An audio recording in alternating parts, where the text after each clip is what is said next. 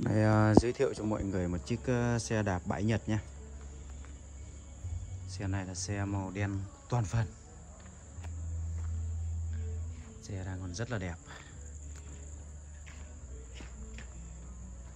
Chất xe thì mọi người không phải bàn. Quay chi tiết cho mọi người xem này. Đèn phản quang sau này, gác ba ga này. Đùi này.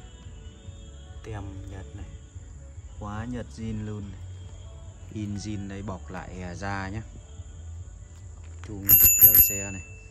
Con này là clip 6 số Có chỉnh tốc độ ở trên đây. Đấy, Đi mọi tốc độ luôn nhé Đi mọi địa hình. Đi rất nhẹ.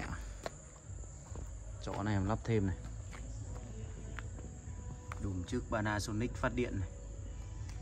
Này cặp vành trước vành sau đều vạch nhôm nhé. đèn Panasonic này đèn này có hai chế độ này, bật chế độ auto tức là đi ban đêm nó tự động nó sáng. Còn một chế độ bộ độ là on là bật lúc nào nó cũng sáng.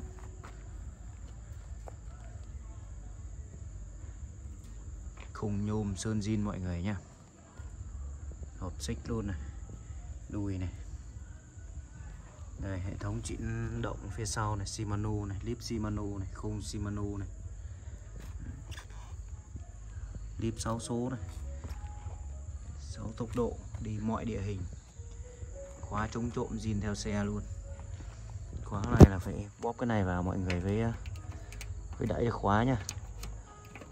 Đấy phải bóp cái lẫy này vào mới đẩy khóa. Đế này là không đẩy đâu. Bóp vào đẩy xuống. À,